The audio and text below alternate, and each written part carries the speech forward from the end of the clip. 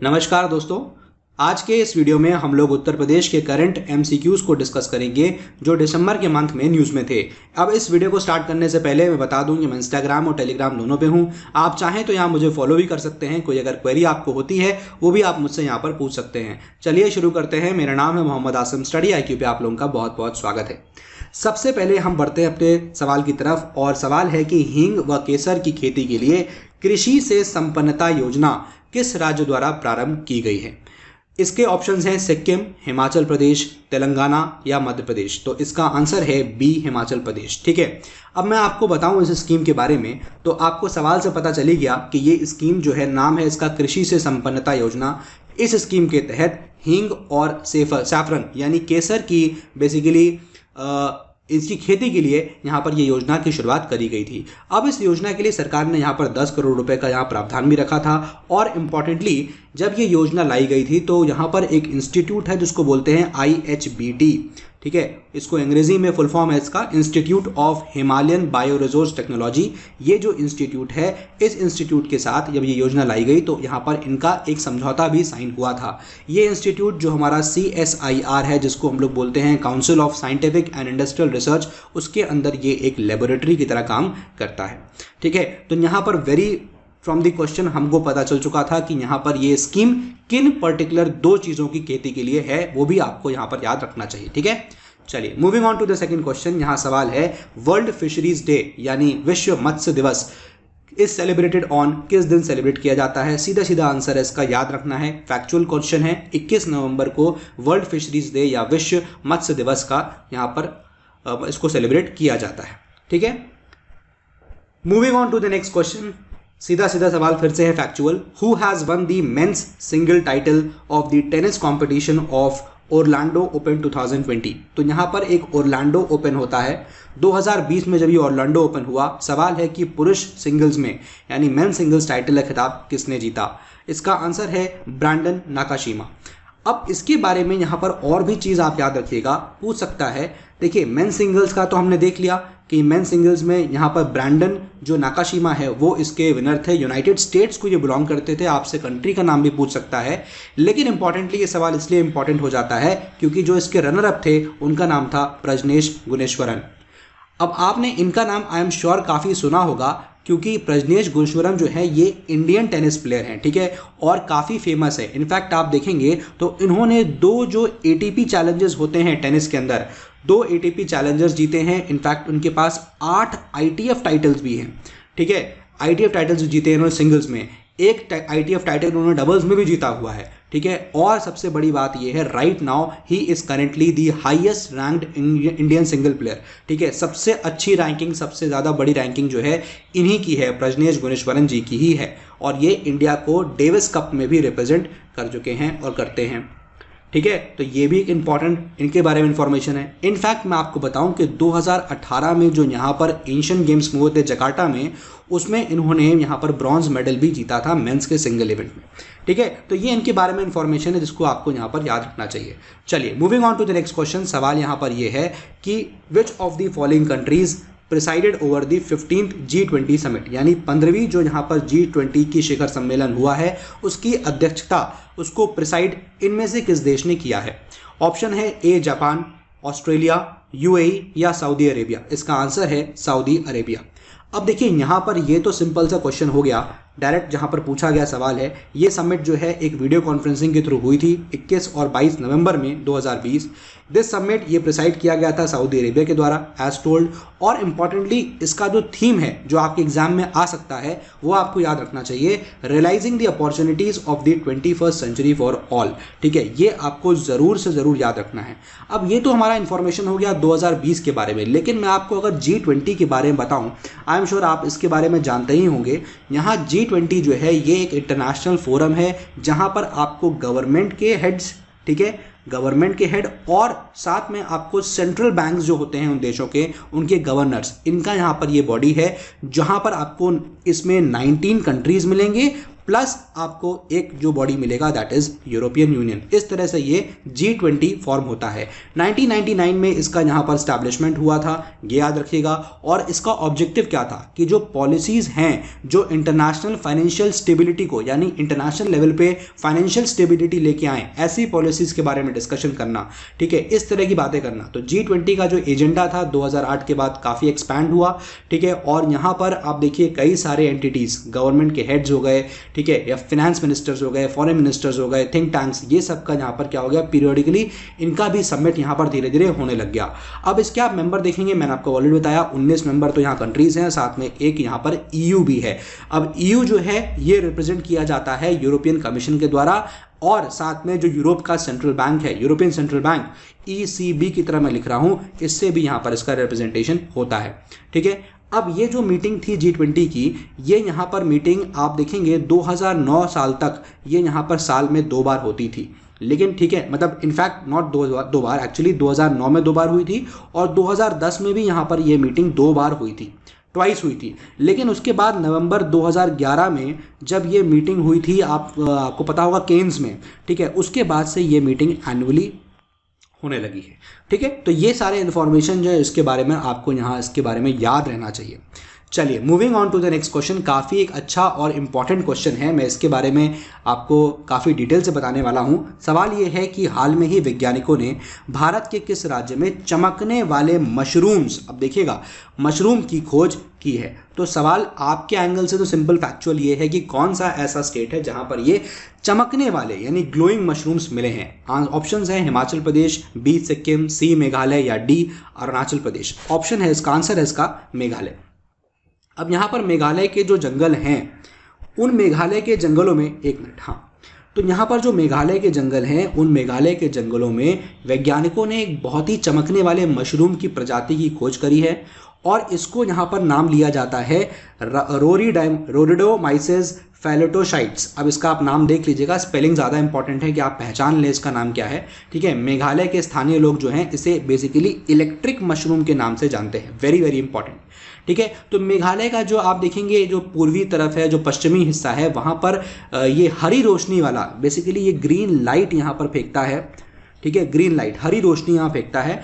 तो हरी रोशनी बिखरने वाला ये मशरूम मिला है। अब ऐसे चमकदार मशरूम को मतलब बेसिकली हम लोग क्या बोलते हैं? एक यहाँ पर कहा जाता है बायोल्यूमिनेसेंट आई होप यह वर्ड आपने सुना होगा, काफ़ी ज़्यादा काफ़ी फ़ेमस वर्ड ही है इसको बोलते हैं। मतलब बायोल्यूमिनेसेंट है, ये चमकता है। ठीक है, इस वर्ड से इसको यहाँ पर जानते हैं। नॉर्थ ईस्ट में मशरूम से जुड़ा एक प्रोजेक्ट चलाया जाता है। ठीक है, इस दौरान जो है बेसिकली इस प्रोजेक्ट के दौरान 600 और ऐसी प्रजातियाँ मिली हैं, जहाँ पर मशरूम्स जो है इस तरह की कैरेक्टरिस्टिक्स को शो कर रहे हैं। ठीक है? तो जो हरे रंग की जो रोशनी बिखेर रहा है ये मशरूम, ये पहली बार ऐसा हुआ है कि मेघालय के पूर्वी के जो हिल्स हैं, ठीक है, खासी हिल्स बेसिकली यहाँ पर आप देखने को मिलेगा। खासी हिल्स में आपको ये देखने को यहाँ मतलब बेसिकली यहाँ ये मिला है, ठीक है? एक झरना है वहाँ पर तो झरने के पास इसको देखा गया था। अब इसके बाद आप देखिए जो पश्चिमी जंतिया हिल्स हैं, जिला है, वहाँ पर भी ये मिला है, ठीक है? इसे आम भाषा में हम लोग, जैसे मैंने बताया बायोल्यूमिनेसेंट मशरूम के नाम से भी जान रहे हैं। एक्सपर्ट्स जो हैं, इस पर यहाँ पर कहते हैं कि ये जो ल्यूमिनेसेंट वाला मशरूम है। इस तरह की 97 कम से कम संतानवे ऐसी और प्रजातियाँ हैं जो यहाँ पर मौजूद हैं। ठीक है? तो ये कुछ चीज़ें हैं जिसको आपको याद रखना चाहिए। ठीक है? अब आप देखिए कि ये जो यहाँ पर मिला हुआ है, ये जो मशरूम मिला है, इसमें यहाँ एक बहुत ही खास तरीके का एंजाइम होता है। ठीक है? जिसको हम लोग बोलते हैं ल्यूसी फ्रेज ठीक है? ये बहुत ही इंपॉर्टेंट है। ल्यूसी फ्रेज ये यहाँ पर एंजाइम इसमें मिलता है, जिसकी वजह से यहाँ पर होता क्या है कि ये ऑक्सीजन से मिलने के बाद जब ये इसका ऑक्सीजन से मिलता है O2 के साथ तो फिर ये ग्रीन कलर का जो कलर है वो यहाँ पर बिखेरता है। तो आई होप ये चीज़ आपको भी याद रहेगी, बहुत ही इंपॉर्टेंट है। अगर इसका एंजाइम पूछ लिया तो भी आपको यहाँ पर याद रहना चाहिए। चलिए moving on to the next सवाल। आगे बढ़ते हैं। सवाल है which of the following speeches of the president have been compiled in the the voice of democracy and the republican ethic part three कहाँ पर ये स्पीच जो है प्रेसिडेंट की मतलब which of the following speeches of the president इसको compile कर दिया गया? आंसर है रामनाथ कोविंद जी। ठीक है तो यहाँ पर सवाल क्या था? सवाल सिंपल है कि लोकतंत्र के स्वर और द रिपब्लिकन एथिक भाग थ्री में निम्न में से किसके भाषणों को यहाँ पर संकलित किया गया है? रामनाथ कोविंद जी के भाषणों को इस पर्टिकुलर चीज़ में पूरा यहाँ पर क्या कर दिया गया है? उसको संकलित कंपाइल कर दिया गया है। ठीक है तो सीधा आंसर क्वेश्चन था। नवंबर 2020 19 नवंबर 2020 को यहाँ पर जो हमारे डिफेंस मिनिस्टर राजनाथ सिंह जी, उन्होंने एक कंपाइलेशन को रिलीज़ किया था, जिसमें कुछ सेलेक्ट सेलेक्ट चूज़ करी हुई स्पीचेस थी प्रेसिडेंट रामनाथ कोविंद जी की, ठीक है? और उसका नाम था वॉइस ऑफ़ द पीपल और दूसरा था the republican ethic part three तो आई होप ये चीज़ आपको यहाँ पर याद रहेगी। सिंपल सा सवाल है, इसका सिंपल सा सीधे सीधे आंसर है। चलिए moving on to the next question सवाल ये बहुत अच्छा है। अब देखिए after the recognise of Indian regional navigation satellite system I R N S S यानी भारतीय क्षेत्र navigation satellite system I R N S S को अंतर्राष्ट्रीय समुद्री संगठन, यानी इंडियन मैरिटाइम ऑर्गेनाइजेशन द्वारा मान्यता प्राप्त होने के बाद भारत स्वतंत्र क्षेत्रीय नेविगेशन उपग्रह रखने वाले देशों में में किस स्थान पर रहा? ठीक है तो सवाल इसका सीधा सीधा है। तो यहाँ पर ऑप्शन है इसका फोर्थ फोर्थ पोजीशन पे इंडिया यहाँ पर रहा था। अब इसके बारे में हम लोग जानकारी कर लेते हैं। देखिए, जो I R N S S है, ठीक है, इसको हम लोग एक ऑपरेशनल नाम से जानते हैं, बहुत फ़ेमस है, जिसको हम लोग बोलते हैं नाविक, ठीक है। आई होप आपने इसके बारे में सुना ही होगा, ठीक है। नाविक के नाम से बोलते हैं। इसको रिकॉग्नाइज किया गया है Indian international maritime organisation IMO में। और भारत यहाँ पर चौथा देश बन गया है इस वर्ल्ड में to have its independent regional navigation satellite ठीक है, भारत का यहाँ पर खुद का एक इंडिपेंडेंट नेविगेशन सैटेलाइट है, जो बेसिकली भारत के एरियाज़ में यहाँ पर क्या करेगा? रीजन को पूरा यहाँ पर एक तरह से क्या करने वाला है? उसको नेविगेट करने वाला है। ठीक है? तो ये जो है इंडिया का एरिया कवर करेगा। साथ में इंडिया के अराउंड जो 1500 किलोमीटर का जो एरिया है, ठीक है, उसको भी यहाँ पर ये क्या करेगा? फुल्ली कवर करने वाला है। ये यहाँ एक बहुत ही इंपॉर्टेंट चीज़ है। तो अपार्ट फ्रॉम इंडिया इसके अलावा तीन और कंट्रीज़ हैं जिसको हम हैं यूनाइटेड स्टेट्स रशिया और चाइना जिनका ये आर ऑल्सो रिकोगनाइज जिनका यहाँ बेसिकली रिकोगनीशन है सेटेलाइट सिस्टम ठीक है? चलिए on which of day world AIDS day is celebrated all over the world अब ये सिंपल सवाल है, इसमें तो डायरेक्ट क्वेश्चन है डायरेक्ट आंसर है। आंसर है फ़र्स्ट दिसंबर यहाँ पर इसको वर्ल्ड एड्स डे के रूप में मनाया जाता है। World AIDS day is celebrated all over the world on first December इस साल का जो थीम है, जो आपके एग्ज़ाम परस्पेक्टिव से काफ़ी इंपॉर्टेंट है, एक तो डेट इंपॉर्टेंट हो गई, दूसरा इसका थीम है ग्लोबल सॉलिडारिटी शेयर्ड रिस्पॉन्सिबिलिटी ठीक है? वैश्विक एकजुटता, साझा जिम्मेदारियाँ। ज़िम्मेदारी, ठीक है? याद रखिएगा इस चीज़ को। Moving on to the next question question number nine on which day international slavery abolition day is celebrated all over the world संपूर्ण विश्व में अंतर्राष्ट्रीय दासता उन्मूलन दिवस को किस दिन मनाया जाता है? आंसर है दो दिसंबर। ठीक है? सेकेंड दिसंबर को मनाया जाता है। अब आपको पता ही होगा, देखिए, दो दिसंबर 2020 को यहाँ पर ये पर्टिकुलर दिवस जो है उसको सेलिब्रेट करते हैं। और इनफैक्ट दो दिसंबर 1949 को संयुक्त राष्ट्र यूनाइटेड स्टेट्स की जो यहाँ पर महासभा है, महासभा ने व्यक्तियों की तस्करी बेसिकली जिसको बोलते हैं हम लोग, ठीक है, जो यहाँ पर एक इंग्लिश का टर्म आता है ट्रैफिकिंग ऑफ़ पर्सन ठीक है तो उनके ट्रैफिकिंग के लिए तस्करी और एक्सप्लाइटेशन जो होता है प्रोस्टिट्यूशन उनको यहाँ पर क्या करने के लिए एंड करने के लिए ये पर्टिकुलर यहाँ international slavery abolition day celebrate करना स्टार्ट कर दिया था, ठीक है? चलिए moving on to the next question question number ten की बात करते हैं। सवाल यहाँ पर यह है कि हाल में ही केंद्र सरकार द्वारा किस बैंक के साथ लक्ष्मी विलास बैंक लिमिटेड का विलय किया जाने की योजना मंजूरी दी गई है। देखिए काफ़ी इंपॉर्टेंट सवाल है। इसके बारे में आपको जानकारी अच्छे से होनी चाहिए। मैं आपको थोड़ा डिटेल में इसके बारे में बताता हूँ। इसका आंसर देख लेते हैं। सीधे सीधे डीबीएस बैंक इंडिया लिमिटेड इसका उत्तर है। अब यहाँ पर एग्जैक्टली पूछ क्या रहा है? देखिए, उससे पहले सीधा सवाल ये है कि सेंट्रल गवर्नमेंट ने किस बैंक को यहाँ पर मतलब जो लैंड बैंक है लक्ष्मी विलास बैंक लिमिटेड इसको किस बैंक के साथ मर्ज कर दिया? तो देखिए मर्जर तो आप समझते ही होंगे। यहाँ जब दो बैंक्स को यहाँ क्या करते हैं, एक बैंक का जब बहुत ज़्यादा यहाँ पर एक किसी तरह से, मान लीजिए एनपीए बहुत राइज हो गया है या फिर वो बैंक प्रॉपर फ़ंक्शन नहीं कर रहा है तो उसको दूसरे बैंक के साथ मर्ज करने की एक यहाँ पर प्रक्रिया जो है वो चलती है। कई सारे ऐसे बैंक्स हैं, आपने सुना होगा, बहुत सारे बैंक्स मर्ज हुए हैं। तो यहाँ पर अभी रिसेंटली लक्ष्मी विलास बैंक को किस बैंक के साथ मर्ज किया है? वो है डीबीएस बैंक इंडिया लिमिटेड यही सवाल पूछा गया है। Recently the central government has approve the plan to merge Lakshmi Vilas bank with which bank अब ये तो ठीक है, आपको आंसर पता चल गया इसका। लेकिन यहाँ पर इंपॉर्टेंटली क्या है कि देखिए, जो सरकार ने क्या किया सरकार ने संकट में फंसे जो फंसी जो लक्ष्मी विलास बैंक है, उसको डीबीएस बैंक लिमिटेड के साथ मंजूरी दे दी है। अब इसके अलावा सरकार ने जो जमाकर्ता के लिए बैंक से निकासी की जो सीमा थी जो यहाँ पर लगा दिया गया था कि पच्चीस हज़ार रुपये से ज़्यादा आप नहीं निकालेंगे, ठीक है, वो सीमा भी यहाँ पर ख़त्म कर दी है आफ्टर दिस पर्टिकुलर मर्जर जैसे ये मर्जर हुआ, उसके बाद ये यहाँ पर एक लिमिट लगाई गई थी कि इससे ज़्यादा आप पैसे विड्रॉ नहीं करेंगे, उस लिमिट को भी अब ख़त्म कर दिया गया है, ठीक है। आपको याद दिला दें, ये चीज़ कब हुआ था? ये सत्रह नवंबर के आसपास की डेट है। सत्रह नवंबर को रिज़र्व बैंक ने बेसिकली लक्ष्मी विलास बैंक पर तीस दिन तक इस तरह की ये चीज़ करने को बोली थी। थर्टी डेज़ की रोक लगा दी थी सलाह दी थी। ठीक है? तो यहाँ पर जो भी जमा करता थे, वो पच्चीस हज़ार रुपये से ज़्यादा की निकासी नहीं कर पाते थे। ठीक है? तो यहाँ ये पर्टिकुलर चीज़ है। इस, इसके साथ ही जो रिज़र्व बैंक ने कंपनी जो एक्ट्स है, कंपनी एक्ट आई होप आपने ये कंपनी एक्ट के बारे में सुना होगा। बहुत ही इंपॉर्टेंट एक्ट होता जा रहा है अब तो ये। जो कंपनी एक्ट 2013 का है, उसके तहत जो हमारे यहाँ पर लक्ष्मी विलास बैंक है, उसको इस पर्टिकुलर डी बी एस विलय, ये जो D B S bank India limited है, उसके अंदर यहाँ पर विलय करने की योजना का मसौदा जो है वो पब्लिक किया था, ठीक है? And that was way back in the month of November only ठीक है? तो ये चीज़ याद रखिएगा यहाँ पर। चलिए आगे बढ़ते हैं।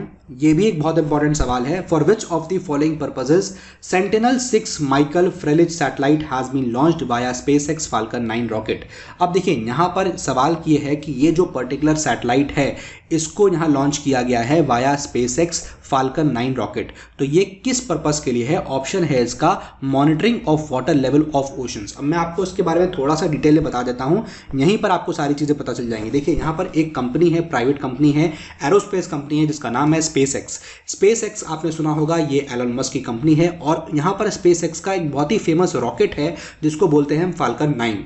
Falcon nine rocket के थ्रू यहाँ पर एक सैटेलाइट को लॉन्च किया गया है, जिसको बोलते हैं हम लोग sentinel six Michael Freilich satellite इस सैटेलाइट का ऑब्जेक्टिव है कि जो वाटर लेवल के ओशन जो ओशन है, उसके वाटर लेवल को यहाँ मॉनिटर करना। तो ये पूरा यहाँ पर प्रोजेक्ट है, जिसके बारे में आपको सारी इन्फॉर्मेशन इसी जगह मिल गई है। ठीक है? इसको आप रीड कर सकते हैं, बहुत ही सिंपल है। चलिए moving on to the next question who among the following has been elected as a new independent chairman of the International Cricket Council तो आईसीसी का जहाँ पर एक नया चेयरमैन जो इंडिपेंडेंट चेयरमैन किसे चूज़ किया गया है? ग्रेग बार्कले अब मैं आपको उनके बारे में बताऊँ तो ये जो ग्रेग बार्कले है, ये न्यूजीलैंड क्रिकेट जो न्यूजीलैंड क्रिकेट बोर्ड है न्यूजीलैंड क्रिकेट उनके यहाँ पर चीफ थे ग्रेग बार्कले इनको अभी रिसेंटली यहाँ पर आईसीसी का नया चेयरमैन चुन लिया गया है. इन्होंने इनफैक्ट इमरान ख्वाजा, जो सिंगापुर के थे, उनको यहाँ पर हरा दिया था। ठीक है, अब now he is Greg Barclay जो है वो इंटरनेशनल क्रिकेट काउंसिल के चेयरमैन इंडिपेंडेंट चेयरमैन इस वक्त नियुक्त हो गए हैं।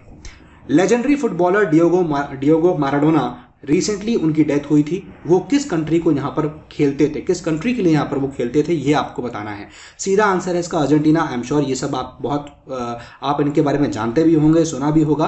ठीक है? तो ये अर्जेंटीना के फुटबॉलर थे डियोगो माराडोना जिनकी 60 साल की एज पे अभी यहाँ पर मृत्यु हो गई डेथ हो गई है। अर्जेंटीना के लिए, अर्जेंटीना ने बेसिकली 1986 में वर्ल्ड कप भी जीता था और वो डियोगो माराडोना की कैंप कैप्टनशिप में ही उसको यहाँ पर जीता था। ठीक है? चलिए, आगे बढ़ते हैं। क्वेश्चन नंबर 14 की तरफ़ बढ़ते हैं। रिसेंटली इंटरनेशनल क्रिकेट काउंसिल अब उन्होंने आईसीसी ने क्या किया है कि एक मिनिमम एज फिक्स कर दी है क्रिकेटर्स की to play in the international cricket तो बताना है आपको कि वो कितनी एज फिक्स करी गई है। बहुत ही इंपॉर्टेंट सवाल है मेरे हिसाब से। इसका आंसर है 15 ईयर्स 15 साल की यहाँ पर एक लिमिट लगा दी है। हाल में ही अंतर्राष्ट्रीय क्रिकेट परिषद द्वारा अंतर्राष्ट्रीय क्रिकेट में खेलने के लिए खिलाड़ियों को न्यूनतम आयु कितनी तय कर दी गई है? आंसर है फिफ्टीन ईयर्स ठीक है? अब देखिए, ये एक ऐसा फैक्चुअल क्वेश्चन है जो आपके मेरे ख्याल सीधे सीधे आपके क्वेश्चन में आ सकता है, ठीक है? कोई भी हो, यहाँ पर खाली मेल्स की बात नहीं हुई है, यहाँ मेल या फिर फीमेल किसी की बात भी हो, कोई भी प्लेयर अगर वो अंडर द एज ऑफ़ पंद्रह साल है, ठीक है? तो ये ऐसा बना दिया गया है कि किसी भी ऐसे प्लेयर को अलाउ नहीं किया जाएगा टू पार्टिसिपेट चाहे वो मेल का कैटेगरी हो, चाहे वो फीमेल कैटेगरी हो, या वो अंडर नाइनटीन इंटरनेशनल क्रिकेट हो, कहीं भी हो, उसको खेलना अलाउड नहीं किया जाएगा। तो एक मिनिमम एज लिमिट यहाँ पर आ चुकी है। How long is world heritage week celebrated कब से कब तक यहाँ पर एक वर्ल्ड हेरिटेज वीक जो है, विश्व विरासत सप्ताह जो है, वो कब से कब तक मनाया गया था? आंसर है इसका 19 से 25 सितंबर के बीच में। अब मैं आपको इसके बारे में थोड़ा सा बता बताऊँ अगर। देखिए वर्ल्ड हेरिटेज वीक जो है 2020 इसका सेलिब्रेशन मैंने आपको बताया। 19 से 25 नवंबर 2020 ऑल ओवर दी वर्ल्ड और इनफैक्ट ये हर साल एवरी ईयर यूनेस्को इसको सेलिब्रेट करता है। ठीक है? ये जो विश्व धरोहर सप्ताह है, इसको आप देखिए कि ये मुख्यतः स्कूल और जो कॉलेज के छात्र हैं, उनके द्वारा लोगों को बेसिकली कल्चरल हमको हमारा जो हेरिटेज है, उसके इंपॉर्टेंस के बारे में बताने के लिए यहाँ पर ये ये एक पर्टिकुलर जो जागरूकता जगाने के लिए यहाँ पर इस इन दिनों यहाँ पर इसको सेलिब्रेट किया गया था। तो इंपॉर्टेंटली यहाँ पर क्या किनको टारगेट किया गया था कि जो स्कूल के बच्चे हैं, जो यहाँ कॉलेज के बच्चे हैं, उनको अपना कल्चर के बारे में यहाँ बताने के लिए, उनको अवेयर करने के लिए यहाँ ये पर्टिकुलर वीक जो है वो सेलिब्रेट किया गया था। ठीक है? चलिए moving on to the next question which of the following education institution of India has got the best ranking in Q S Asia university rankings 2020 काफ़ी फ़ेमस रैंकिंग्स होती हैं, ठीक है? कौन सी यहाँ पर क्यूएस जो एशिया यूनिवर्सिटी रैंकिंग 2020 में भारत के किस एजुकेशन इंस्टीट्यूशन को सबसे बेस्ट रैंकिंग प्राप्त हुई है? ठीक है? तो ऑल ओवर कई सारी इस पर यूनिवर्सिटीज पार्टिसिपेट मतलब उनका यहाँ पर आता है रैंकिंग लेकिन यहाँ पर सिर्फ़ भारत की उस यूनिवर्सिटी के बारे में पूछ रहा है जिसका सबसे बेस्ट परफॉर्मेंस है। तो आंसर इसका आईआईटी बॉम्बे अब इसके बारे में हम सारा डिटेलिंग देख लेते हैं एक बार। यहाँ in the ranking of 107 universities of India 107 universities India की यहाँ रैंक की गई हैं आउट ऑफ़ विच जिसमें आप देखेंगे ओनली एट यूनिवर्सिटीज हैं, ठीक है, जो टॉप हंड्रेड में यहाँ पर आ पाई हैं। ठीक है? यह बहुत ही एक हमारे लिए आ, अच्छी बात नहीं है और हमारे एजुकेशन इंस्टीट्यूशन होने चाहिए जो यहाँ पर टॉप हंड्रेड के अंदर भी आए एटलीस्ट टॉप हंड्रेड की बात हो रही है। अब इसमें देखिए आईआईटी बॉम्बे है जिसको यहाँ थर्टी सेवन पोजिशन मिली है। आईआईटी दिल्ली को फोर्टी सेवन पोजिशन मिला IIT Madras was an fifty six followed by I I S C I S Indian institute of science fifty six IIT Kharagpur को इकहत्तरवा स्थान। यूनिवर्सिटी ऑफ़ दिल्ली को यहाँ पर seventy first IIT Kanpur भी यहाँ पर देखिए यूनिवर्सिटी ऑफ़ दिल्ली से पीछे था सेवेंटी सेकेंड रैंक और यहाँ पर जे की बात करें तो it was eighty first ranking और यहाँ नेशनल यूनिवर्सिटी ऑफ़ सिंगापुर जो है, उसने इस पूरी ही रैंकिंग्स को यहाँ पर टॉप किया था। तो आपके लिए एक ये इन्फॉर्मेशन ही बहुत इंपॉर्टेंट है कि पूरे ओवरऑल रैंकिंग में कौन टॉप किया था तो यहाँ पर नेशनल यूनिवर्सिटी ऑफ़ सिंगापुर वो याद रखिएगा। और भारत की बात करी गई तो आईआईटी बॉम्बे याद रखिएगा। ठीक है? चलिए। क्वेश्चन नंबर 17 बढ़ते हैं। Who among the following has been appointed as the first chief executive officer CEO of the W H O foundation तो ओ फाउंडेशन के यहाँ पर किसको पहला चीफ एग्जीक्यूटिव ऑफिसर अपॉइंट किया है? अनुल सोनी जी, इनको यहाँ पर ये अपॉइंटमेंट कर दिया गया है। ठीक है, अब देखिए इसके बारे में सीधा सीधा है। अनिल सोनी, काफ़ी आप जानते होंगे, ये एक इंडियन बॉन्ड है, यानी इनकी पैदाइश हिंदुस्तान में हुई है, ये हेल्थ एक्सपर्ट है। इनको यहाँ पर पहली बार first chief executive officer appoint किया गया है डब्ल्यू एच ओ फाउंडेशन का, जिसका हेडक्वार्टर आपको जिनेवा स्विट्जरलैंड के अंदर देखने को मिल जाएगा। ठीक है? चलिए आगे बढ़ते हैं क्वेश्चन नंबर 18 की तरफ़। अब यहाँ पर नेपाल और चाइना ने आपने रिसेंटली सुना होगा, इन दोनों देशों ने यहाँ पर पैक्ट किया था कि वो लोग माउंट एवरेस्ट की ऊंचाई को दोबारा यहाँ पर नापेंगे। तो अभी यहाँ पर सवाल ये है कि नेपाल और चीन ने मिलकर दुनिया की सबसे ऊँची चोटी माउंट एवरेस्ट की नई ऊंचाई कितनी बताई है? इसका आंसर है एट मीटर तो आप समझ सकते हैं कितना यहाँ पर माइन्यूट जो है वो इसका इंक्रीमेंट देखने को मिला है। ठीक है? नेपाल और चाइना ने ज्वाइंटली यहाँ पर ये 86 सेंटीमीटर्स की बताई है कि 86 सेंटीमीटर हिमालय जो है, वो उनकी हाइट बढ़ गई। तो आपको पता होगा कि हाइट क्यों बढ़ रही है? आपको पता होगा कि इंडियन जो प्लेट है, वो जाके यूरोशियन जो प्लेट है, उससे जाके यहाँ टकरा रही है। और जब ये दो प्लेट्स का यहाँ पर टकराव होगा तो डेफिनेट सी बात है कि यहाँ जब टकराव होगा, दोनों तरफ़ ज़मीन टकराएँगी तो ये ज़मीन ऊपर उठने लग जाती है। ठीक है? जिसकी वजह से यहाँ पर हिमालय का फॉर्मेशन हो गया है। तो हिमालय का फॉर्मेशन का रीज़न आपको जोग्राफी में पढ़ा ही होगा। ठीक है? इसको हम लोग बोलते हैं कॉन्टिनेंट कॉन्टिनेंट जो जो डाइवर्जन प्लेट्स होती हैं, जो आती हैं, दो plates sorry conversion plates converge कर रही हैं दो प्लेट्स यहाँ कॉन्टिनेंट और कॉन्टिनेंट की दो प्लेट्स हैं, एक कॉन्टिनेंट यूरोप हो गया और एक कॉन्टिनेंट एशिया हो गया। इन दोनों की प्लेट्स जब यहाँ पर कन्वर्ज करेंगी तो बेसिकली यहाँ पर हिमालय का फॉर्मेशन देखने को मिल रहा है, ठीक है? चलिए, आगे बढ़ते हैं। रिसेंटली यहाँ पर क्लाइमेट चेंज परफॉर्मेंस इंडेक्स 2021 का रिलीज़ किया गया था। किस कंट्री को यहाँ पर टॉप पोजीशन मिली है इसमें? आंसर है स्वीडन अब देखिए, ये ऊपर के तीन कंट्री आपने देखे ही होंगे। नॉर्वे फिनलैंड स्वीडन एकदम पड़ोसी पड़ोसी देश हैं। काफ़ी अच्छा ये छोटे छोटे देश हैं, बहुत अच्छा परफॉर्मेंस रहता है इनका। क्लाइमेट की बात करेंगे करप्शन की बात करेंगे। ज़्यादातर आपको यही कंट्री देखने को मिलते हैं। ठीक है ना? तो यहाँ पर अभी अगर क्लाइमेट चेंज परफॉर्मेंस इंडेक्स की बात करें तो उसमें स्वीडन जो है, उसको यहाँ पर टॉप पोजिशन मिली है। ठीक है? चलिए। अब देखिए climate change performance index 2021 release किया गया। कौन रिलीज़ करता है? Jointly by German watch new climate institute and climate action network ठीक है स्वीडन ने बता दिया कि इसको टॉप किया है। लेकिन स्वीडन ना देखिए is ranked four in this index due to top three vaccine being placed in which India has been ranked tenth ठीक है तो ये एक इंपॉर्टेंट इन्फॉर्मेशन आपके लिए है। चलिए, आगे बढ़ते हैं बीसवें सवाल की तरफ़। On which date international anti corruption day is celebrated all over the world anti corruption day international level पे कब सेलिब्रेट किया जाता है? आंसर इज़ नाइन्थ दिसंबर ये भी काफ़ी इंपॉर्टेंट सवाल है। नौ, उन्नीस, नौ दिसंबर को मनाया जाता है। इस बार का जो थीम था, वो याद रखिएगा that is recover with integrity ये आपसे सवाल पूछा जा सकता है कि इस बार का जो थीम है, उसका थीम क्या था? ठीक है? चलिए क्वेश्चन नंबर 21 की तरफ़ बढ़ते हैं। सवाल है what is the main theme of sixteen Pravasi Bharatiya Divas? Conference to be held on January 9 2021 तो यहाँ पर आप देखिए, जो ये जनवरी नौ 2021 को यहाँ पर ये ऑलरेडी हो चुका है। तो इसका थीम क्या था? थीम था इसका contribution to self reliant India right इस थीम का ये आपको याद रखना है। आप एग्ज़ाम पूछ सकता है कि इस बार 2021 में जो एनआरआई डे हुआ है, उसका थीम क्या है? तो आपको याद होना चाहिए। That is contribution to self line यानी आत्मनिर्भर भारत में योगदान देना। अब ये जो प्रवासी भारतीय दिवस है, ये समागम है, ये हर साल एवरी ईयर होता है डिफरेंट डिफरेंट शहरों में और 2003 से लगातार इसको यहाँ सेलिब्रेट किया जा रहा है। कोविड 19 की सिचुएशन आपके पता है कि इसकी वजह से बहुत सारी चीज़ें यहाँ पर सस्पेंड करी गई हैं और इसी वजह से यहाँ पर ये जो 16 सोलवा प्रवासी भारतीय दिवस था, इसको अब यहाँ पर 9 जनवरी 2021 को एक वर्चुअल फॉर्मेट में हेल्ड किया गया था।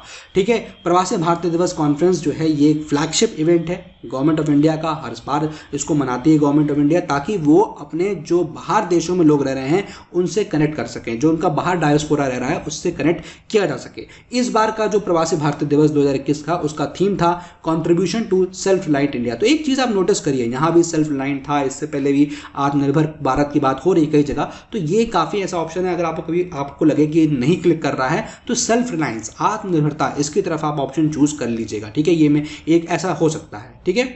चलिए, Bangladesh has entered its first preferential trade agreement in which country तो ये पीटीए यहाँ साइन हुआ है।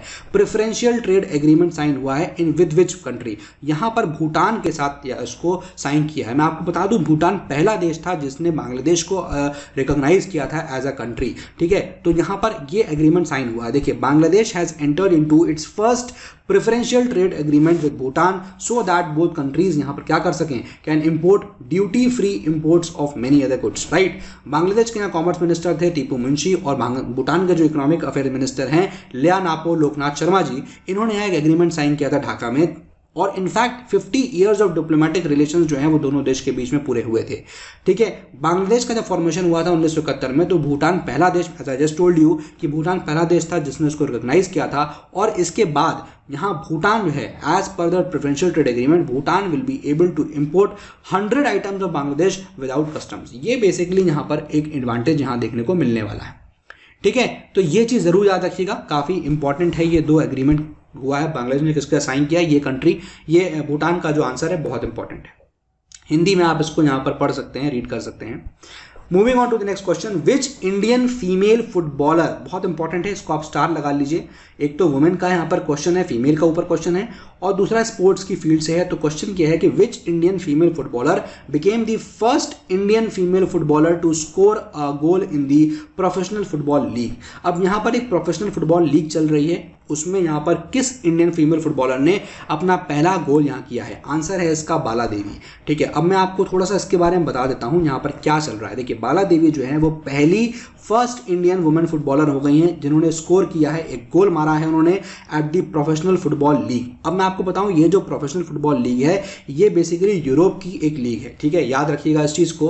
काफ़ी इंपॉर्टेंट ये इन्फॉर्मेशन आपके लिए है कि जो Bala Devi professional football league यहाँ पर ये लीग यूरोप की लीग है, ठीक है? एक ये इंपॉर्टेंट है और इनफैक्ट यूरोप की फुटबॉल लीग में रेंजर्स एफसी की तरफ़ से खेलते हुए बाला देवी ने यहाँ पर जो मदरवेल एफसी है, उनके अगेंस्ट अपने करियर का फ़र्स्ट गोल यहाँ पर किया था। तो मदरवेल एफसी और इधर ये रेंजर्स एफसी इनके बीच में मैच चल रहा था। रेंजर्स एफसी के लिए बाला देवी जी खेलती हैं, ठीक है, और उन्होंने अपने करियर का पहला गोल दागा है मैं कई बार इसको रिपीट कर रहा हूँ क्योंकि मुझे हिसाब से ये बहुत ही इंपॉर्टेंट क्वेश्चन है। आपसे एग्ज़ाम में डेफिनेटली पूछा जा सकता है, ठीक है?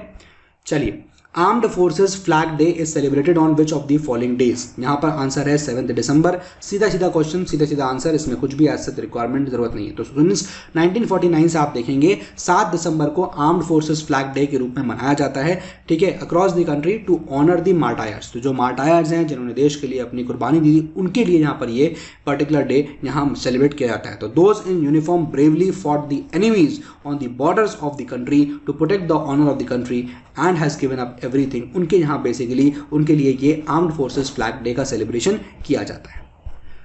Who has been declared the winner of the United Nations investment promotion award for the year 2020 by the United Nations UNCTAD अब देखिए अंगटाट आपने सुना होगा, ठीक है? अंगटाट क्या होता है? यूनाइटेड नेशंस का जो बेसिकली यहाँ पर क्या है? जो यहाँ पर कॉन्फ्रेंस है on trade and development UNCTAD का फुल फॉर्म यही होता है United Nations conference on trade and development ठीक है? तो यहाँ है कि किसको डिक्लेयर किया गया है? Winner of the United Nations investment promotion award for the year 2020 answer है इन्वेस्ट इन इंडिया को. बहुत ही ज़्यादा इंपॉर्टेंट क्वेश्चन है। मेरे हिसाब से इसको आप वेरी वेरी इंपॉर्टेंट भी लिख सकते हैं। ठीक है? बहुत ज़्यादा इंपॉर्टेंट क्वेश्चन है।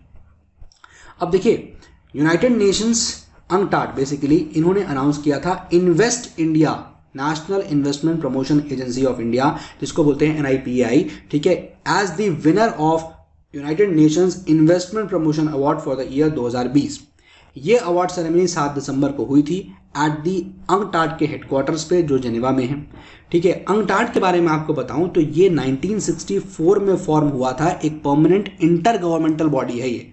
ठीक है? अंगटाट जो है, जैसा कि नाम के आगे यूनाइटेड नेशंस लिखा ही हुआ है तो ये एक पार्ट है यूनाइटेड नेशन सेक्रेटेरिएट का, जो बेसिकली ट्रेड में डील करते हैं, ठीक है? जो डेवलपमेंटल इश्यूज़ पे बात करते हैं, उनको लेकर यहाँ पर ये अंगटाट काम करता है। तो अवार्ड जो है दिया गया है यहाँ पर जो इन्वेस्ट इंडिया को अवार्ड क्या रिफ्लेक्ट कर रहा है? It is reflecting the outstanding achievements and the best practice of the investment promotion agencies जो इन्वेस्टमेंट प्रमोशन एजेंसीज है आईपीएस उनके यहाँ पर बेस्ट प्रैक्टिस को यहाँ पर ये बता रहा है। ठीक है? तो आई होप ये चीज़ आपको यहाँ क्लियर हो गई। हिंदी का इसका वर्जन आप इसको यहाँ पर रीड कर सकते हैं।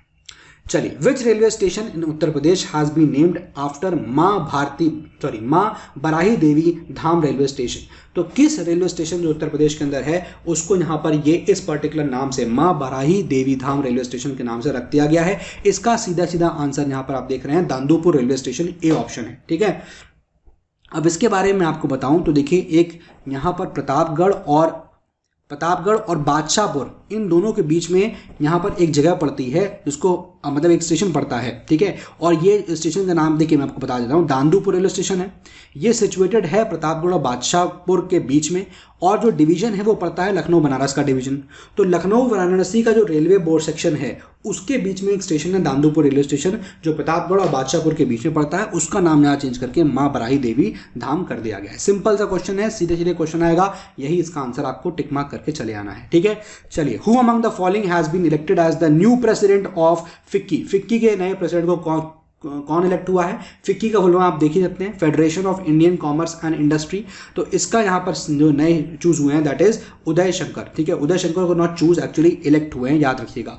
इलेक्शन होता है तो इनको इलेक्ट किया गया है उदय शंकर जी को as the new president of the FICCI. तो Uday Shankar as I already said has be named as the president of the federation of Indian chambers of commerce and industry for the year 2020-21 and he is going to succeed whom Sangita Reddy Sangeeta Reddy अभी तक यहाँ FICCI की chairman थी उनको यहाँ पर ये overcome overtake करने वाले हैं सक्सीड करने वाले हैं, ठीक है?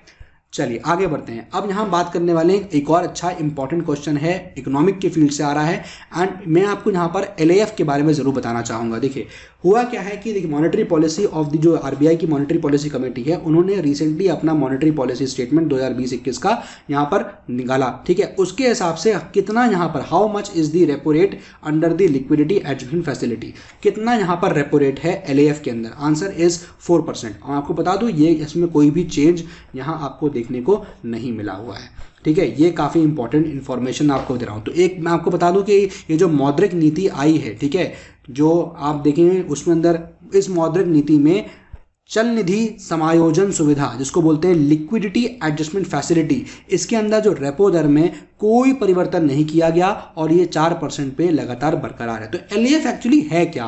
What is this liquidity adjustment facility तो देखिए, ये एक तरह का टूल है, एक मॉनिटरी पॉलिसी का, ये एक मैं कह सकता हूँ टूल है, जिसके तहत रिज़र्व बैंक ऑफ़ इंडिया है। वो बैंक्स को अलाउ करता है कि वो पैसे बोरो कर सकते हैं थ्रू अ रीपर्चेज ऑप्शन जिसको हम लोग बोलते हैं रेपो ठीक है? शॉर्ट में मैं लिख देता है रीपर्चेज ऑप्शन इसके थ्रू यहाँ पर बैंक्स बोरो कर सकते हैं to make loans to the RBI through the repo you know these reverse repo agreements तो ये बेसिकली यहाँ पर एलएफ होता है, इसको भी आप याद रखिएगा।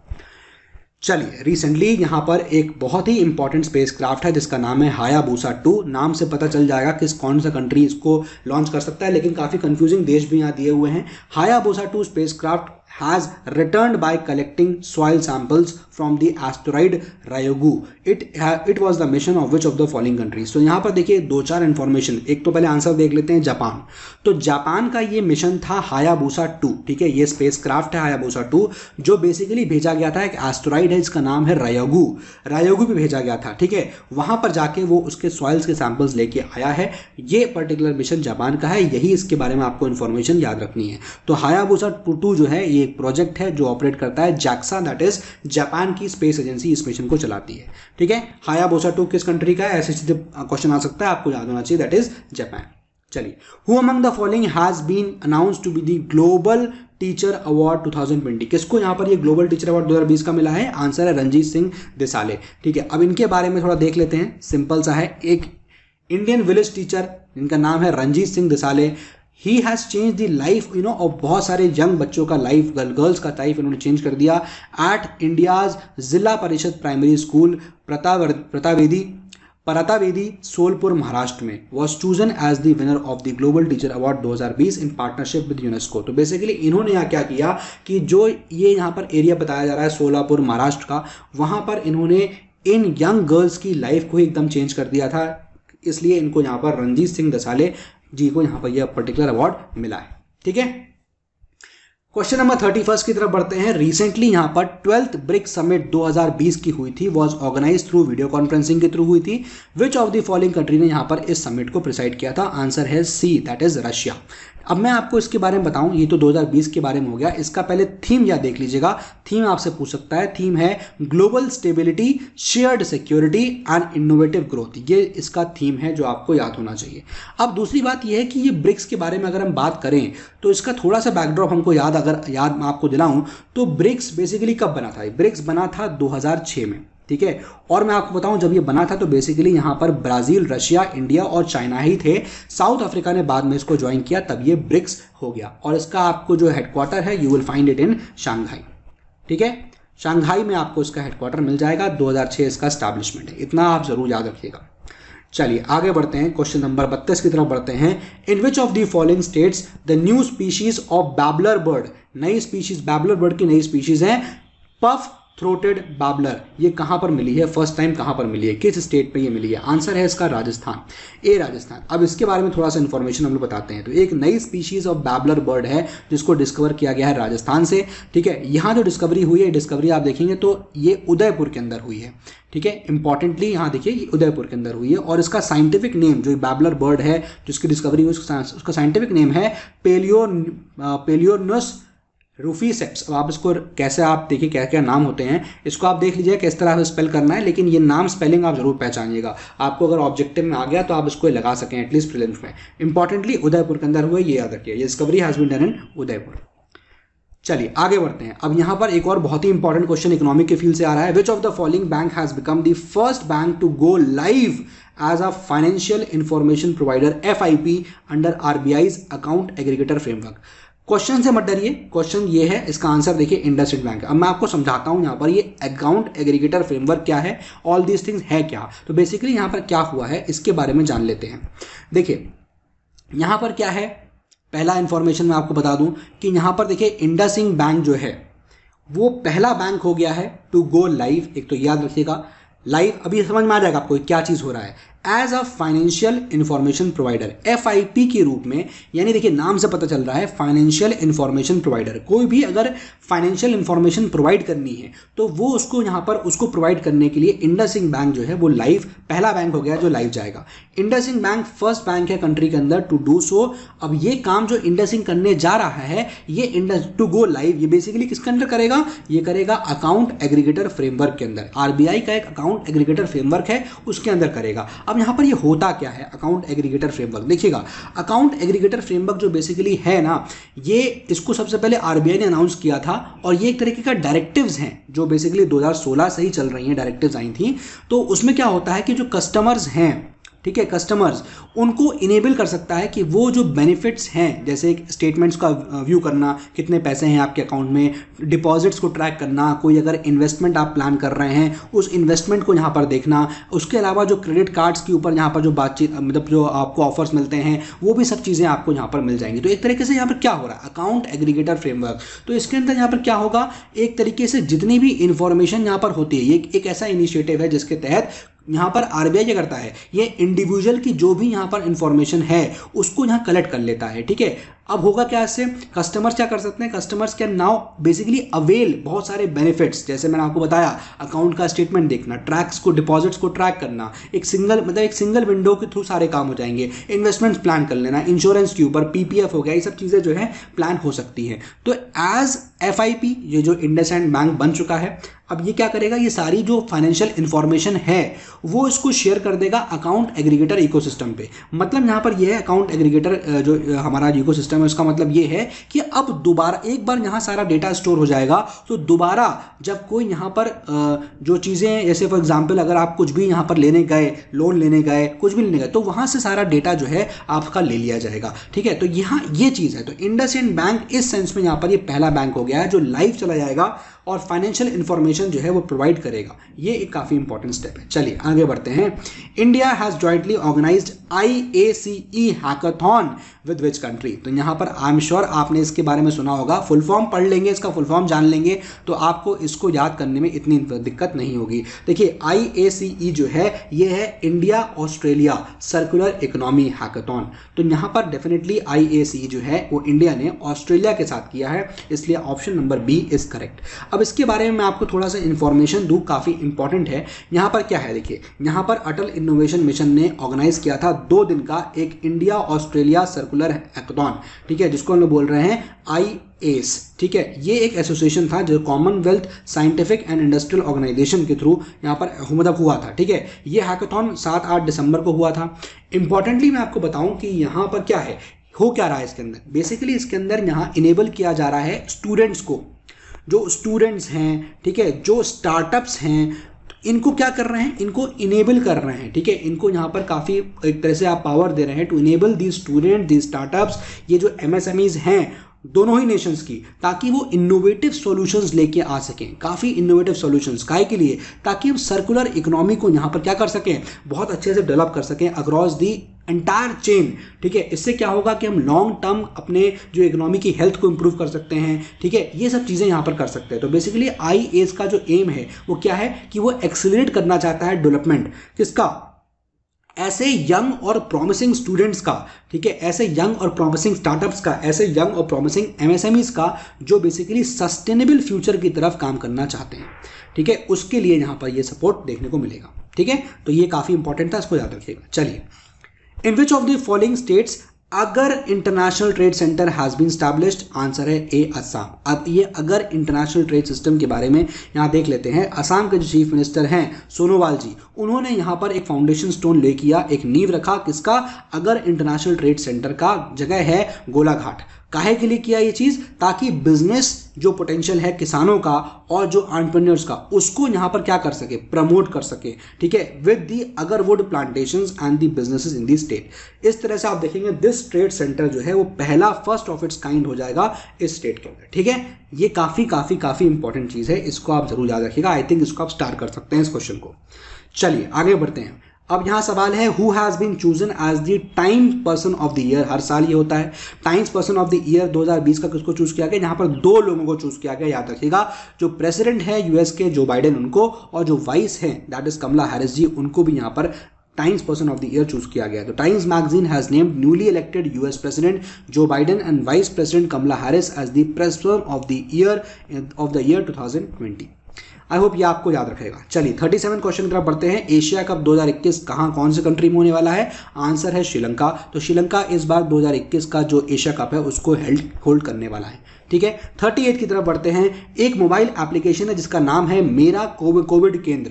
ये किस स्टेट ने यहाँ पर लॉन्च किया है? किस चीफ मिनिस्टर को लॉन्च किया है? तो ये उत्तर प्रदेश की सरकार जो है, उसने यहाँ पर ये मेरा कोविड कोविड केंद्र। इस नाम से एक मोबाइल एप्लीकेशन मेरा कोविड केंद्र नाम की एक मोबाइल एप्लीकेशन को यहाँ पर लॉन्च किया है, ठीक है? अब इसके बारे में देखिए, आपको पता ही होगा, ये जो एप्लीकेशन है, मेरा कोविड केंद्र, ये बेसिकली काहे के लिए? To locate free covid 19 testing centres in the state state के अंदर कहाँ कहाँ कोविड 19 फ्री टेस्टिंग हो रही है, उसको लोकेट करने के लिए पर्टिकुलर यहाँ पर ये एप्लीकेशन बनाया गया है, ठीक है? चलिए क्वेश्चन नंबर थर्टी नाइन की तरफ़ बढ़ रहे हैं। एजुकेशन मिनिस्टर जो है हमारे रमेश पोखरियाल निशंक, इन्होंने एक फॉर्म किया है formed a task force headed by whose purpose is by headed by whose purpose it is to prepare a roadmap for imparting technical education in the mother tongue. ठीक है? तो यहाँ पर किसके चेयरमैनशिप में हुआ है? केंद्र शिक्षा मंत्री रमेश पोखरियाल निशंक के ने मातृभू भाषा में, यानी टेक्निकल एजुकेशन को मदर लैंग्वेज में प्रदान करने के लिए रोड मैप तैयार किया है। किसके कमेटी में? ठीक है? तो किसके उसमें? सेक्रेटरी हायर एजुकेशन इनके अंडर जो बेसिकली यहाँ पर ये काम किया गया है। ठीक है? चलिए। तो एजुकेशन मिनिस्टर हमारे जो है रमेश पोखरियाल निशंक, उन्होंने एक टास्क फोर्स इन्होंने बनाया था और वो उसका काम था एक रोड मैप बनाना हम रोड मैप किस बात का? कि किस तरह से हम टेक्निकल एजुकेशन को मदर लैंग्वेज में मदर टंग में इम्पार्ट कर सकें।